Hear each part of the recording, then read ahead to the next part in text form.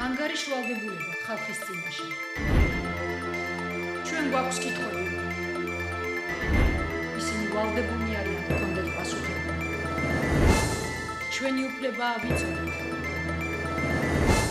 ჩვენი უფლება მათ ძალა უფლებაზე მნიშვნელოვანია. ჩვენ გვაინტერესებს სიმართლე. მათ უნდა აინტერესებდეთ ხალხის აზრი. ჩვენ ველოდებით გულახდილ პასუხებს. პირდაპირ საუბარი ეკაბერიძესთან ყოველ საქმეს მაესტროზე საღამომშვიდობისა თქვენ უყურებთ პირდაპირ საუბარს ეკაბერიძესთან. მომავალი საპარლამენტო და საპრეზიდენტო არჩევნები იქნება ჯანსაღი დემოკრატიული გარემოს ლაკმუსის ქაღალდი და ეს ფაქტორი ახალი საარჩევნო კოდექსის მიღების საჭიროებას ადასტურებს. ნათქვამია ევროსაბჭოს საპარლამენტო ასამბლეის მიერ დღეს მიღებულ რეზოლუციაში. ევროსაბჭო შეშფოთებას გამოთქვამს დევნილების გამოსახლების ფორმების გამო და მედიაში მეტი პლურალიზმის, ასევე კანონის თანაბრად გამოყენების აუცილებლობას ხედავს. უცხო თვალით დანახული საქართველოს ამ თემაზე პირდაპირ საუბარი დღეს Երևան բերձենի շուտան գոյքնեմ։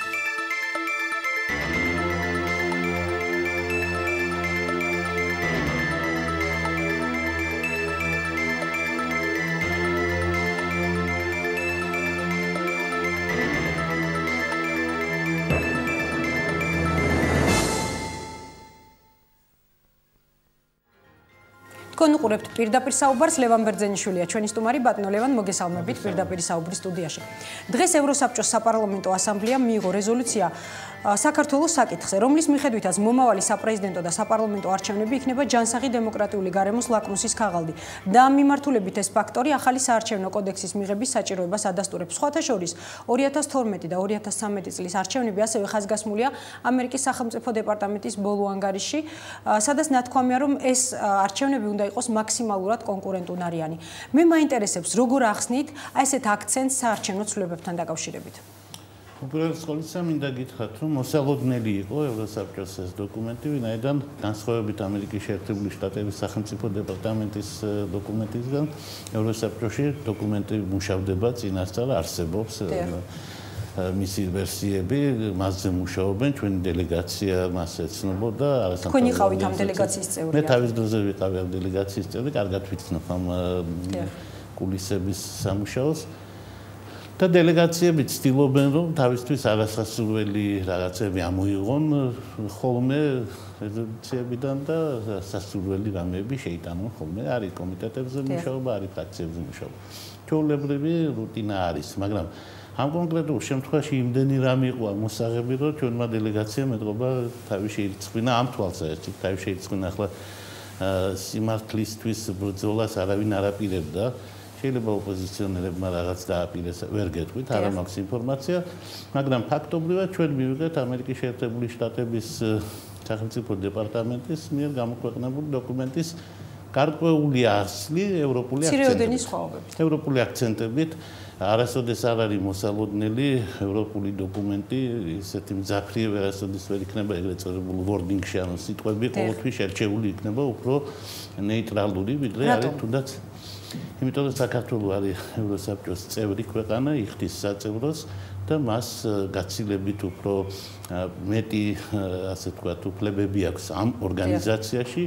ვიდრე აქვს მოპოვებული თავის მეგობრებთან ავტორიტეტი. ანუ საქართველოს ამერიკისთვის არ არის ისეთი ავტორიტეტული ქვეყანა, როცა ცუდად იქცევა მისი ხელისუფლება, როგორც ევროპის კავშირისთვის, სადაც ყველა 57 ქვეყანა თანასწორი არის და იქ ძალიან მოგზალებულად ლაპარაკობს. როცა იქ ჩნდება ცუდი სიტყვები, ეს არის პირდაპირი ნიშანი იმისა, რომ საქმე ძალიან ცუდაა და მე ამ დოკუმენტის მიღების შემდეგ დავწმუნდი რომ ჩვენ არაფერი არ გვეჩვენება ახლა თუ ვინმე სამე ეჩვენებოდა მე მგონი ამერიკის ელჩის გამოსვლის შემდეგ რაღაცები შეიცვალა საზოგადოებრივ დამოკიდებულებაში მაგრამ ევროპამაც თავისი სიტყვა თქვა.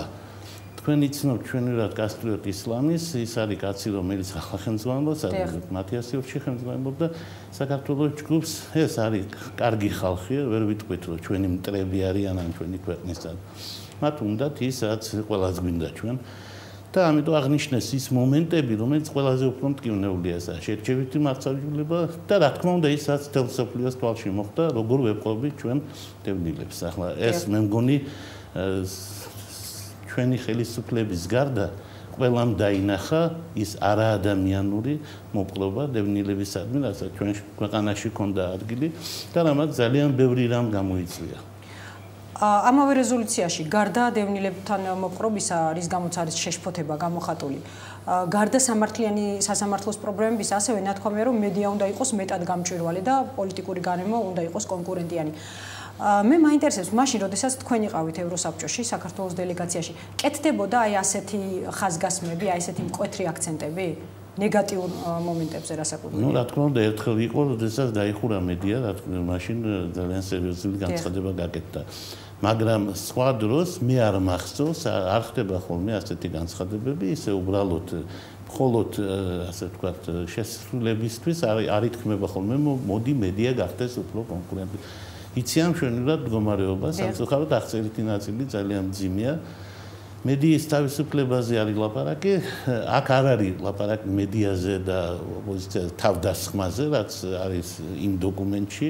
აქ ესეთი სიტყვა თავდასხმა რა გამოყენებული, მაგრამ ნათქვამია რომ მედია შეზღუდულია და მე მგონი ახლა რომ არ ეთქვა ჩვენი სადაც ვიცოდით, მაგრამ კარგია რომ ევროპა მიცის რა ვითარება საქართველოს. თუმცა ასევე ნათქვამია რომ მაინც რჩება რეგიონში ფლაგმანადო მედია მედიის მდგომარეობა საქართველოში. ანუ რეგიონში მაინც საუკეთესოა.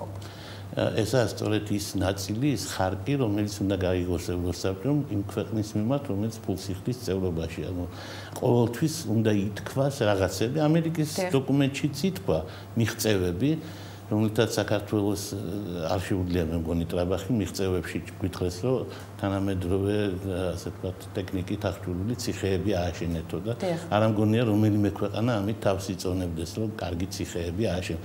ჩვენს პრეზიდენტ შეუძლია ამის თქმა, მაგრამ არ ამგონია დღეს ეს მისთვის მონგებიანი იყოს, თუნდაც ამ პარტნიორების წინაშე. მაგრამ ევროსაბჭოს დოკუმენტში მე ველოდი კიდევ უფრო მეტ ასე ვთქვათ მწვანე შუქს რაღაცეებზე, სხვა ჩვენც ბევრი არ არის. თუმცა ასე არ არის თუნდაც ციხეებთან მიმართებაში ევროსაბჭოს დოკუმენტში პირიქით. საქმე ის არის, რომ მათ გაცილებით უკეთიციან ეს საკითხი. და გაცილებით უფრო ღრმა დაინტერესებთ, იმიტომ ისინი კვადრატულ მეტრებს ითვლიან, ვის რამდენი ჰაერი უწევს და ვინ როგორი ჰიგიენის პირობებშია და ციხის საკითხებში ევროპა ყოველთვის უფრო ყურადღებიანი იყო, ვიდრე რომელიმე სხვა კონტინენტი. და რაც შეეხება მწვანე შუქს, უფრო რა თემებთან მიმართება შევლოდით? მე მეგონა, რომ ესე იგი კორუფციასთან ბრძოლაზე რამეს უფრო კარგს ეთყოდნენ მიხელ სააკაშვილს. არ არის ნათქვამი, ეს თემა არ არის გაშლილი. არ არის გაშლილი ეს თემა. და მე რატომღაც მეჩვენებოდა რომ ცოტა უფრო მეტი უნდა თქმულიყო რუსეთ საქართველოს კონფლიქტზე საქართველოს მხარეს რომ არის ევროპა. სამწუხაროდ ამაზე იქ ცალკე მინდოდა სხვა შორს ამაზე შეკითხვის დასმა. მართალია არის ნახსენები სიტყვა ოკუპაცია მაგრამ ამ თემას ძალიან მცირე ნაწილი აქვს დაფუძნებული საქართველოს მუდმივი წარმომადგენელი ამბობს რომ ეს იყო დროის უკმარისობის მიზეზი. თქვენ როგორ ფიქრობთ? ჩემი აზრით ეს არ არის გონივრული შენიშვნა ახლა მე მეც არაფერს არ ვიტყვი. დროის უკმარისობა რას ნიშნავს ევროსაბჭოში კარგად არ ვიცი ევროსაბჭოს აქვს ძალიან დიდი დრო. სესიიდან სესიამდე რამდენიმე თვე გადის ხოლმე და მიდის მუშაობა კომიტეტებში დრო ძალიან საკმარისი მეტია იმისთვის რომ რამე და ეს დრო არ მეყო მე რო იქ რაღაც გამეკეთებინა ეს ყველა პარაკია. აა სხვა შორის უნდა გითხრათ საქართველოს წარმომადგენლობა ევროსაბჭოში მუშაობდა, მუშაობს და შესაძლოა თუ არაფერი არ შეიცვალა, იმუშავებს ძალიან ცუდად ევროსაბჭოში, იმიტომ რომ არაცხობს არც ერთ, არაფერ არც ერთ ღონისძიებას არაცხობს, რომელიც მეტნაკლებად საინტერესო იქნებოდა სხვა ქვეყნებისთვის. არც თავსაცნობს, არც კულტურასაც ცნობს. არც ბოლოს არც ღვინოს ასმევს ასე ვთქვათ. რატომ თქვენი აზრით? როდესაც მუდმივად საუბრობთ იმაზე, რომ ჩვენ იარს ვახდენთ. ცოტა ინიციატივა აკლია ზოგიერთ და ზოგიერთ გონია, რომ ინიციატივის გამოჩენა საშიშია თანამდებობრივად. ძალიან პატარა კაცი გვიზის ადგილზე და იმიტომ შესაძლოა. ადრეც ასე იყო, როდესაც ზურაბ ჭიავერაშვილი იყო იქ საქართველოს. ისიც ძალიან პატარა კაცი იყო, რა ვქნა ახლა მე ტყუილს ვერ ვიტყვი. კი იყო ოდესღაც რესპუბლიკური პარტიის წევრი, მაგრამ პატარა კაცობას ვერ გაექცა სხვა ჩვენის ამ დარგში ჩვენი გვჭირდება ევროპაში განსაკუთრებული ტიპის წარმოადგენელი, რომელიც ჩვენს ქვეყანას მართლა წარმოადგენს, აი ელჩი რაც არის, როგორც შეგიძლია წარმოიდგინოთ. და არასოდეს არ ყოლია სამწუხაროდ აი ეს ჩვენი პრობლემა არის.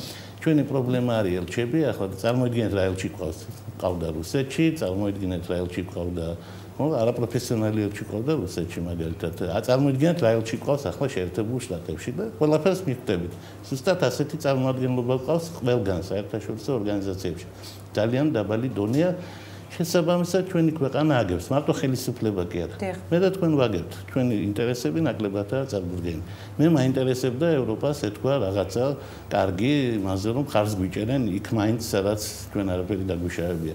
სამწუხაროდ ხელისუფლების კრიტიკასთან ერთად როგორც ჩანს ქვეყნის კრიტიკისადმი გადახრაც გამოჩნდა. თუმცა არის რაღაც დადებითი შეფასებები, მაგალითად, დადებითად შეფასებულ ნაბიჯთა ჩამონათვალში შედის ხელისუფლების ინიციატივები პოლიტიკური გარემოს გაუმჯობესების მიზნით, რაც ქვეყანაში დაპირისპირების ატმოსფეროს აღმოფხრისა და ოპოზიციის როლის გაძლიერებისკენ არის მიმართული.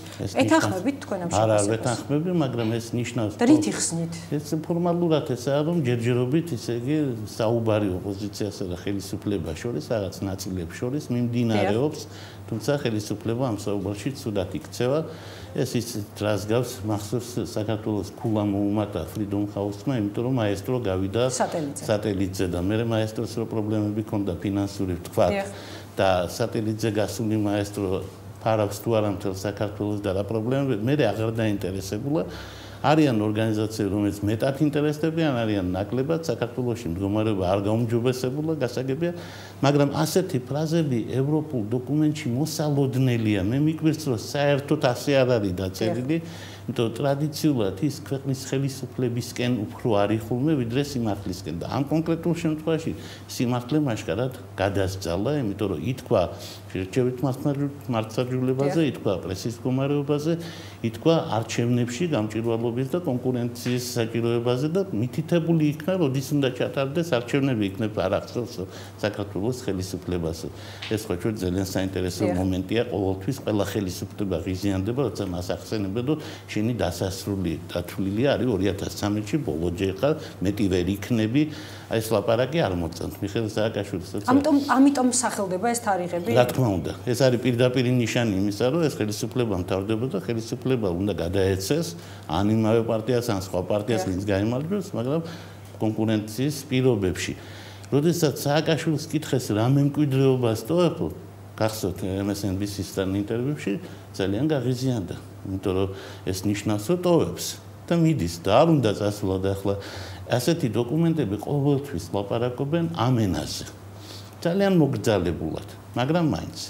ევროსაბჭოს დოკუმენტში ამის გაჩენა ჩემთვის არის სკანდალური ინფორმაცია იმიტომ რომ აქ ასეთი რამეები არ ხდება ხოლმე. ევროსაბჭოს დოკუმენტები ძალიან მოოქრულ მოვეცლილ შოკოლადის პუდრა მოყრილი დოკუმენტებია ახლა თუ ვინმე გაეცნობა სხვა დოკუმენტებს იქ აღმოაჩენს რომ უნდა იპოვო ჭეშმარიტება ძალიან ძალიან შეფარულად იმიტომ არავის არ უნდა ეწყინოს ხელისუფლება რო იტყვის მეწყინა უნდა უთხრან რომ აი ხო თქვი შენზე ეს თქვი კარგია ეს თქვი კარგია ეს თქვი ახლა ეს სიმართლე ცოტა მათქმევინე რო იქ პატიმარს რაღაცა საწოლი ჭირდება ჩვენ ევროპელები ვართ და ასე გგონია და ასე შემდეგ. ასეთი ტიპის დოკუმენტებში ასე ხდება ხოლმე. ამიტომ მე არაფერი არ მიგვირს კიდევ ერთხელ გეუბნები თუ გადავთარგმნით ნორმალურ ადამიანურ ენაზე ეს დოკუმენტიც იმაზე უფრო კრიტიკული გამოვიდა ვიდრე ხელისუფლება წარმოადგენს. ბატონო, არის გარკვეული სხვაობებიც, როგორც თავიდანვე გითხარით, სახელმწიფო დეპარტამენტის ანგარიშსა და ამ რეზოლუციას შორის. მაგალითად, ერთი ძალიან მნიშვნელოვანი საკითხი, ეს არის ცვლილებები საქართველოს კონსტიტუციაში, რომელიც რეზოლუციის მიხედვით არის დადებითად შეფასებული ამერიკის სახელმწიფო დეპარტამენტს თავის ანგარიში ეს ცვლილებები საერთოდ არ უხსენებია. მე მაინტერესებს თქვენი აზრი იმის შესახებ თუ რატომ არ მოიხსენია სახელმწიფო დეპარტამენტმა საკონსტიტუციო ცვლილებები როგორც პროგრესული ან რეგრესული, ანუ არანაირი შეფასება არ არის. თუმცა ამ თემაზე პირდაპირ საუბარს გავაგზავნებთ სარეკლამო ბლოკის შემდეგ გადაცემაში რეკლამის დროს.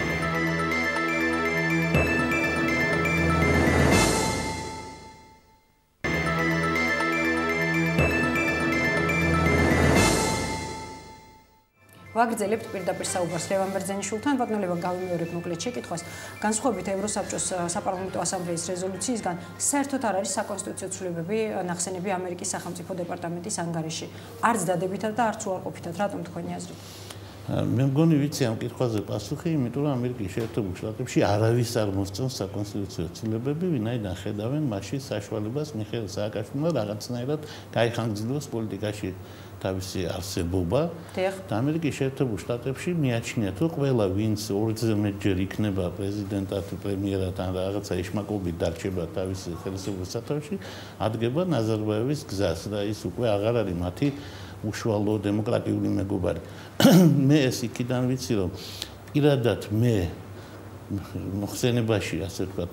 არა მარტო შემატანინეს ეს საკითხი მიუხედავად იმისა მე არ ვაპირებდი ამაზე ლაპარაკს სხვა კაცილებით უფრო მეძიმე ამბები უნდა აღმეწერა არამედ მე 10 კითხვა დამისვეს იმასთან დაკავშირებით რას ნიშნავს საკონსტიტუციო ცვლილებები რატომა ისინი მიღებული აი ასეთი წესით ანუ არადემოკრატიული წესით მიღებულად მიაჩნიათ მიუხედავად კონსენსუსისა რომელიც პარლამენტში იყო. მიუხედავად ყველაფრისა რაც პარლამენტში იყო ზუსტად მაგის გამო რომ არავინ არ იყო წინააღმდეგი საწყალი თამაზდიასამის გარდა მიიჩნიეს რომ ეგ არის ნიშანი იმისა რომ ეგ ცვლილებები არ ვარგა იმიტომ და პარლამენტის მიმართაც გაუჩნდათ კითხვის ნიშნები.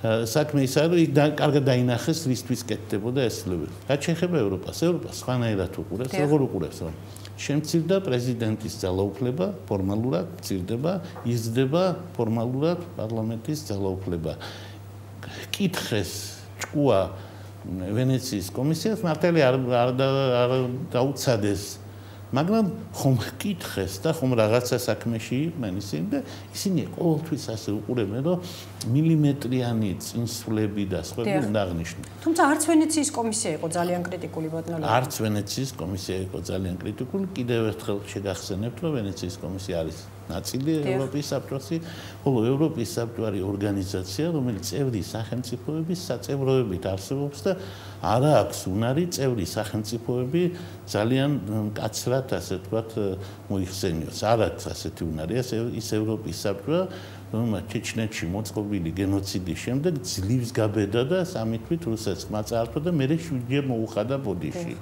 და ამ მაწართულ რუსეთს სულ ქონდა გამოსვლები ხმიანი უხმო ქვეყანას მახსოვს ძალიან კარგად.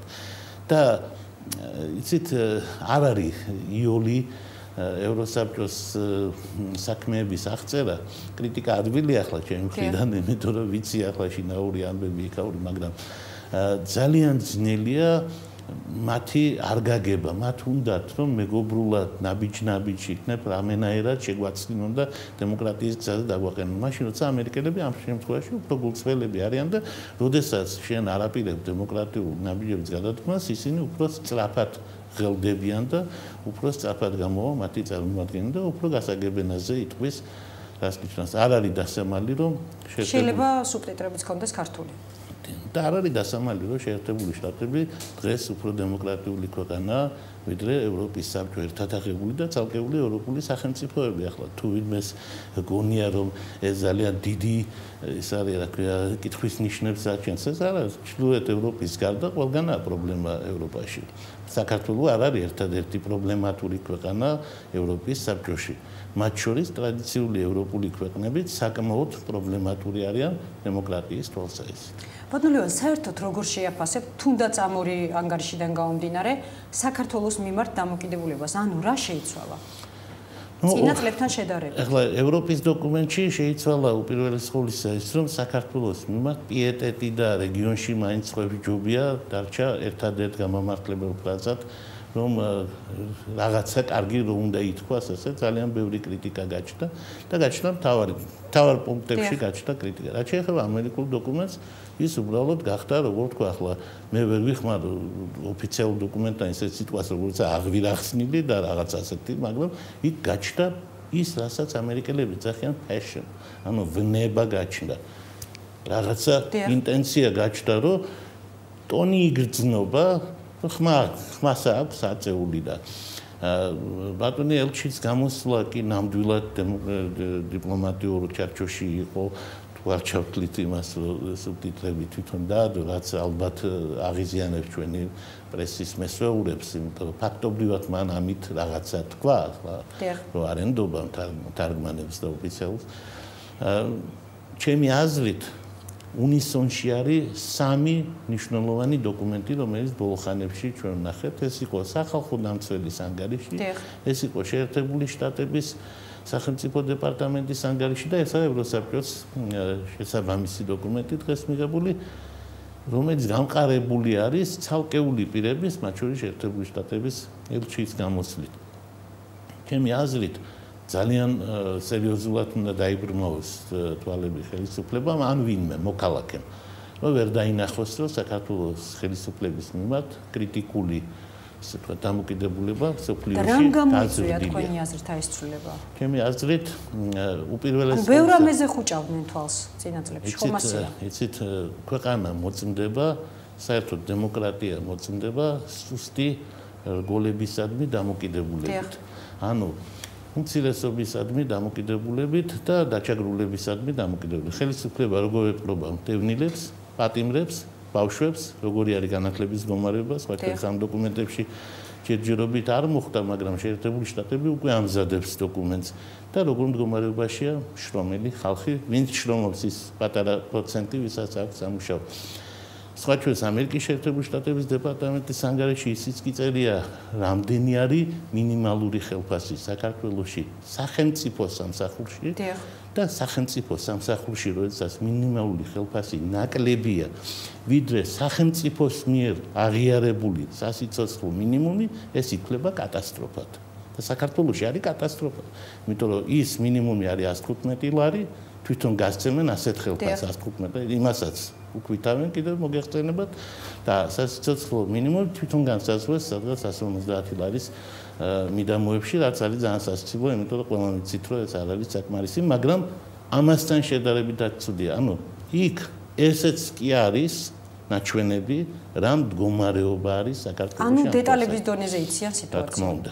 ვადნულივან თქვენ თვითონ იმყოფებოდით შეერთებულ შტატებში ცოტა ხნის წინ დაბრუნდით. მე მაინტერესებს, ანუ იქ თუ იგრძენით ეს ცვლილება საქართველოს მიმართ დამოკიდებულებაში? იქიდან როგორ ჩანს? დიახ, მე უნდა გითხრათ, რომ ეს დოკუმენტები სანამ გამოქვეყნდებოდა მე ჩამოასწარი და მე ეს ამბები ჩამოვიტანე გაცილებით უფრო მძაფრად. იქიდან ასე ჩანს, რომ მდგომარეობა და დამოკიდებულება საქართველოს მიმართ შეიცვალა. მე შემიძლია გითხრა, ახლა მე ვერ გეტყვით, რომ პრეზიდენტმა ობამამ ყურში მითხრა აზრები მიხეილ სააკაშვილის, ასეთი რამ არ ყოფილა. მაგრამ მე შემიძლია გითხრათ, რომ სახელმწიფო დეპარტამენტში ჩამოყალიბდა გარკვეული აზრი მიხეილ სააკაშვილის და მის ხელისუფლებაზე და იმ არასამთავრობო სექტორში, ან თუნდაც სამთავრობოსთან დაახლოებულ ადამიანებში, იმ აკადემიურ ინსტიტუტებში, სადაც წდება ამერიკის საგარეო პოლიტიკის საკითხები, და მე შევხვდი ყველას ამას, იმიტომ ეს იყო ჩემი საქმე ახლა ამ საქმეზე ვიყავი წასული და მე კითხებოდი ბევრს და ვეკითხებოდი მეც ბევრს. იქ ძალიან კარგად ჩანდა, რომ ვითარება კვეთრად შეცვლილია და გაცილებით უფრო მძიმეა მდგომარეობა, ვიდრე ეს თუნდაც აისახა, ანუ კიდე უფრო ცუდად უყურებენ საქართველოს ხელისუფლებას, ვიდრე ეს წერია დოკუმენტებში და ვიდრე ამაზე ილაპარაკა ამერიკის შეერთებული შტატების საქმე. შემიძლია ერთი მაგალითი გითხრათ. დიახ. მე მომიწვიეს ჩემი პრეზენტაციის შემდეგ მე უნდა დამთავრებინა და იქ მოვაწევრო და დავამთავრე. ბოლო გამოსვლა იყო ჩემ, ბოლო იყო ჩემი პრეზენტაცია იმ შვიდი ჩემი კოლეგიდან, რომელიც იქ მუშაობდა თემის სოფლიო და გავაკეთე ეს პრეზენტაცია და დავამთავრე მოღვაწეობა შეერთებულ შტატებში ვენზადებული სახელმწიფოსასვლად. ამის შემდეგ რამდენიმე მხარე მithova ჩემთან შეხვედრა. ერთ-ერთი იყო NDI, რომელსაც არ მოეწონა რომ მე გავაკრიტიკა საქართველოს სამსახური საარჩევნო ამბებთან დაკავშირებით. მეორე იყო ეგრეთ წოდებული სოლიდარობის ცენტრი. ეს არის ძალიან სერიოზული ორგანიზაცია, რომელიც თემ სოფლიოში აკვირდება პროკავშირების და შრომის თანამდებობის საქმეებით. სოლიდარობის ცენტრში მე ამიხსნეს თითებზე ასე. იმ საზიზღარი და საშინელი თურმე დარღვევების შესახებ, რომელიც საქართველოს ქონია ამ მიმართულებით. ესაა შრომის კანონმდებლობა დრაკონული ეს არის ყველა წესი, რომელიც ჩვენში არის. ეს არის შრომასაც ეხება, ესაა კონტრაქტები, რომელიც არსებობს, რომელიც არ არსებობს და უკონტრაქტო მუშაობა, ორმაგი სტანდარტები, ორმაგი ბუღალტერია და ასე შემდეგ, ასე შემდეგ, ვის გამოც შეერთებულ შტატებში კონგრესმენებმა შეიტანეს საჩივარი კონგრესში და საქართველოს მოუხსნიან კეთილგანწყობილი ვაჭრობის სტატუსი. ეხლა ვუთხარი თუ ესო თქვენს მხარესო და ჩვენმა ელჩმა უთხრაო აი ძალიან გასაგებ ენაზეო და ბატონი ბასი ძალიან დაინტერესებულია პროფკავშირების საკითხებითაც და შრომის საკითხებითაც და პასუხი ქართული მხრიდან იყო სამაგიერო ჩვენო ავღანეთშიო ჯარებს ვაგზავნით. და ისეთი ტონით მითხრეს ეს და ისეთი სახეებით მithres ეს და ისეთმა ხალხმა მithra რომელიც ძალიან მაღალი რანგის მუშაკები არიან მე მივხვდი რომ ისინი უბრალოდ გაბრაზებულები არიან ახლა ეს საერთოდ არ ხდება ხოლმე დიპლომატებში და ასეთ ადამიანებში. ინტონაციები ხო გითხარით გაჩნდა ის რასაც ქვია ვნება. და როგორი იქნება ბატონო თქვენი აზრით? აი ეს ემოცია ეს უნება იმ შემთხვევაში თუ მიხელ სააკაშვილი მართლაც განახორციელებს თავის გაპრემიერების გეგმას როგორც ოპოზიცია საუბრობს მას ეს გეგმა აქვს? ჩემი აზრით თუ ის არ წავა დათმობებზე, თქვა საარჩევნო მოლაპარაკებებში, თუ ის დააპირებს, ასე თქვა, თავისი გაპრეზიდენტებიდან გაპრემიერებას და დაპუტინებას და ასე შემდეგ, რაც აქვს ალბათ ჩაფიქრებული, ან შეიძლება ისე წავიდეს საქმე, რომ მესამეჯერ პრეზიდენტობა დააპიროს, იმიტომ რომ არ შეერწყება ჩვენს პარლამენტს თუ ასეთი სურვილი გაუჩნდება ბატონ მიხეილ სააკაშვილს. მაშინ შეერთებულ შტატებს და მანამდეც მათ აქვთ იარაღი რომელსაც ისინი აუცილებლად გამოიყენებენ, ეს არის ფინანსური იარაღი. საქართველოს ნამდვილად არ არის დამოკიდებული იმაზე, რა სიტყვის ევროპის საბჭო. კარგია თუ რამე სიტყვიან ქვიანოს და ვასავლიან ჭკუას, მაგრამ დიდი ხანია გვეუბნებიან, ახლა შეგახსენებთ ვალდებულებები გვაქვს, მაგალითად თურქიმესხების და ასყვების წინაშე არ ვასრულებთ. არც ენების საკითხს ვასრულებთ, არც უმცირესობის და არ მოუკლივარ ჯერ არავის და არ მოკლავენ. ყველა მიცის ძალიან კარგად. არც რუსები ასრულებენ არც აზერბაიჯანი ასრულებს. რაც შეეხება შეერთებულ შტატებს იმათ ასეთ ლაპარაკი არ გადის იმიტომ ეს ხელისუფლება მთლიანად დამოკიდებული არის შეერთებული შტატების კეთილ განწყობაზე. აქ ლაპარაკი არ არის მარტო რუსეთთან დამოკიდებული ეს ლაპარაკი არის ფინანსებზე და სამწუხაროდ ჩვენ არ ვცხოვრობთ ახლა როგორც დამოუკიდებელი ქვეყანა და ჩვენ არ ვცხოვრობთ იმ შრომით რომელიც ჩვენ იმიტომ რომ ჩვენ არ ვშრომობთ. საქართველოსში 79% ამბობს რომ იგი უმუშევარია. ხოლო ვითომ დასაქმებული ხალხი რომ არის? სოფლად მაგალითად ხო? იმის იმის ფული არ აქვს რომ რაღაცა იყიდონ უბრალოდ და შეიძლება ექიმებს დავაზობენ ასე თქვა ბარტერულ გაცვლას რომ ესე იგი გულზე ოპერაციის სანაცვლოდ შეიძლება ქათამიან ციზილი მოიყვანო ასეთ ვითარებაში ძალიან ანუ სასიცოცხლო არტერია შეიძლება გადაიქცეს. რა თქმა უნდა, საქართველოს მთლიანად დამოკიდებული არის თავის ყველაზე მთავარ სტრატეგიულ პარტნიორზე. ამერიკის ხელისუფლება ხედავს ამ საშიშროებას თქვენი აზრით? ხელისუფლება თუ ცდილობენ მოაგვარონ. ხელისუფლებას როგორც 2008 წელს გონია რომ მას ვერ გაუბედა. იცით მე რამდენი ადამიანი მინახავს რომელსაც ასე გონია. 2007 წელს ირაკლი ოქროაშვილმა კითხვაზე მიშამ რომ დაგიჭიროს ასიზამს განაცხადა ვერ დამიჭერს. და მეორე დღეს დაიჭირეს. 2008 წელს მიხეილ სააკაშვილმა განაცხადა რომ რუსეთი ვერ გაბედავს. და ამიტომ გაბედა თვითონ რაღაცეები და რუსეთმა არა მარტო გაბედა არამედ მათმა გაბედა ობამა ხალხ ჭალებში იმიტომ რომ ეს და ესეთი სიტყვა ძალიან თბილისამდე მოაღწია და ესე იგი საქართველოს უზარმაზარ შოკში იქნა ჩავარდნილი საიდან ჯერ გამოსულები ანუ ხელისუფლების გეგმების გამო შეიძლება ქვეყანა დაისაჯოს ასეა? რა თქმა უნდა იმიტომ რომ ახლა მიხეილ სააკაშვილის შეცდომების გამო საქართველოს ბევრჯერ ნახა ზარალი როგორც ქვეყანა. მე რო გითხარით რომ შრომის კანონმდებლობას რო არასწორებენ და რო არ უნდათ მაგალითად მასწავლებლებს დაუდონ მრავალწლიანი კონტრაქტი და რომ მასწავლებელთა პროკავშირებში აუცილებლად თავისი ვინმე უნდა დანიშნოს. ხელისუფლება ვინ კითხავს ხელისუფლებას ამ წერლობის ამბავს ამ პროკავშირის ამბავს სად რომელ ქვეყანაში ყოფილა. ეს საქართველოს გარდა ძალიან იშვიათი არის თუ არ ჩავთვლით ბირმას სამხედრო დიქტატურებს და სხვა ახლა ჩვენ ხო არა ვართ რა ჩვენ ვიცით რაც ვართ ჩვენ ვართ ეგრეთ წოდებული ჰიბრიდული ქვეყანა საქართველოს დემოკრატიის დონით ხო ძალიან ტრაბახობთ აბა ნახეთ სხვა ტელევიზიები საქართველო არის 103 ქვეყანა 150 გამოკლებულ ქვეყანას შორის.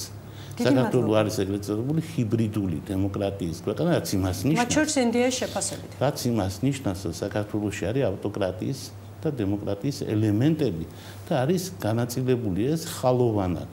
კი ვართ ისედაც ქრისტიანის ქვეყანა და ზუსტად ასე წინწკლოვანი დემოკრატია გვაქვს. დიდი მადლობა.